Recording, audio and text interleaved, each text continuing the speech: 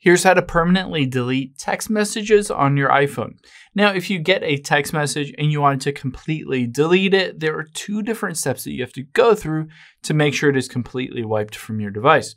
So let's open up your Messages app here, and I'm just going to swipe to the left on one of these and hit the trash can.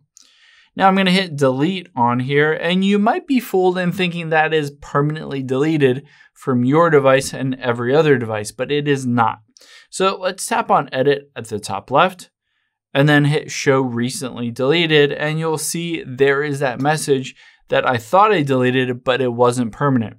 Now, if I just tap on it and hit delete at the bottom left and delete this message, it says this message will be deleted from all your devices and this action cannot be undone. Now, keep in mind, it does delete it from your phone, your MacBook Pro, your iPad, all of those different things, so you cannot get it back. But if you're good with that, just hit delete message and that will permanently delete that text message from your iPhone and every other device. Hope this helps. If you have any questions on that, leave them in the comments down below, and we'll catch you on the next one.